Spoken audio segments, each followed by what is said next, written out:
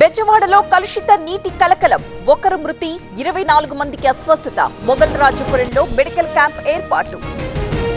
కలుషిత నీటి ఘటనపై అధికారుల సీరియస్. ఆరుగురు బీఎంసీ అధికారుల సస్పెన్షన్. ఇద్దరు అధికారులకు షోకాజ్ నోటీసులు. ఆర్టీసీపై సీఎం రేవంత్ ఫోకస్. ఇవాళ అధికారులతో సమీక్ష. మహాలక్ష్మి స్కీమ్ సహా పలు అంశాలపై చర్చ. మేడిగడ్డ బ్యారేజ్లో తాత్కాలిక మరమ్మతులు. సి బ్లాక్లను సెట్ చేస్తున్న సిబ్బంది ఏడో బ్లాక్లోకి నీరు రాకుండా మళ్ళీ. ఏపీలో కొనసాగుతున్న కార్డన్ సెట్. మార్చర్లలో యాభై రెండు మందిపై rowdy sheet. Vijayapuri south PS పరిధిలో ముగ్గురు అరెస్ట్. పిన్నెల్లికి ముందస్తు బెయిల్. జిల్లా ఎస్పీని కలిసిన ఎమ్మెల్యే లాయర్ల సమక్షంలో హాజరు.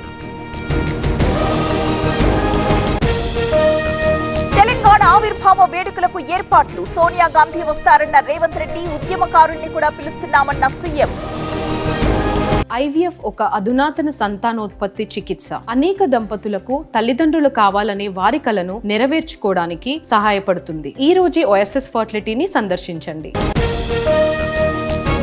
ఏపీ విడిపోవడానికి టీడీపీనే కారణం. రాష్ట్రానికి తీరని అన్యాయం చేశారు. అధికారం కోసమే మూడు పార్టీలు కలిశాయన్న మల్లాది విష్ణు.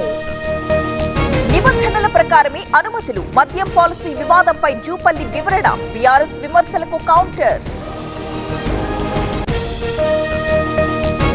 నిర్మల్ జిల్లా సిరాల దగ్గర చిరుత సంచారం ఫారెస్ట్ అధికారులకు స్థానికుల సమాచారం అప్రమత్తంగా ఉండాలని అధికారుల సూచన. కంబోడియా బాధితులపై సీఎస్కి లేఖ రాష్ట్రానికి తీసుకురావాలన్న చంద్రబాబు కేంద్రంతో సంప్రదించాలని సూచన. ఆదిలాబాద్లో లాఠీ చార్జ్ దారుణం. రైతులకు విత్తనాలు ఇవ్వలేకపోతున్నారు. ఐదు నెలల్లోనే రోడ్డెక్కాల్సి వచ్చిందన్న హరీష్. ఆర్టీఏ అవినీతిపై ఏసీబీ దృష్టి. తెలంగాణ వ్యాప్తంగా ఆఫీసులపై దాడులు. రికార్డులను పరిశీలించిన అధికారులు. నల్గొండ జిల్లాలో నాటు తుపాకుల కలకలం. గణపురం పెద్దమ్మ గుడిలో దాచిపెట్టిన దుండగులు. మూడు తుపాకులు స్వాధీనం. బదిలీలు ఉద్యోగ నియామకాల్లో అవకతవకలు. కడప రీజనల్ డైరెక్టర్ విచారణ. చిత్తూరు డిఎంహెచ్ఓ ఏఓలపై ప్రశ్నల వర్షం. నాలుగు వందలకు పైగా సీట్లొస్తాయన్న మోదీ అవినీతిని ఉపేక్షించేది లేదని హెచ్చరిక. రేపు కన్యాకుమారికి వెళుతున్న ప్రధాని.